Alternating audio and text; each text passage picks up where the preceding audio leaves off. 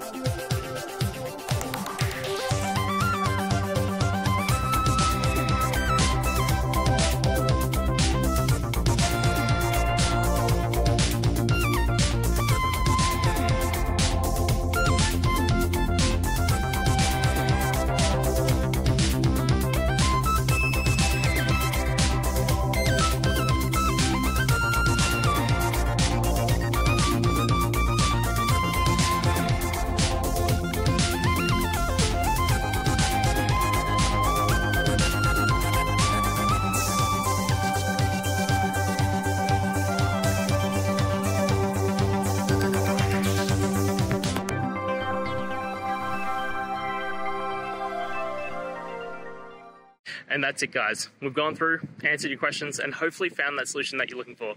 If we did, please hit subscribe. I'd really appreciate it. And until the next time you need technical help, I hope you have a good one.